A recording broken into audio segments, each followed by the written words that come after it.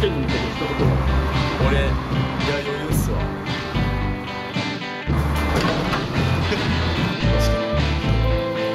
頑張るぞ試験に向けて一言まあこの試験大したことな頑張るぞ向けて一言。頑張ります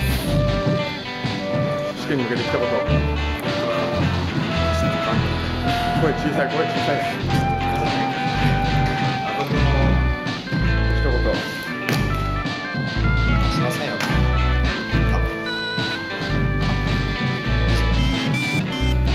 級というプレッシャーがすごいのしかかってるんですけど頑張ります。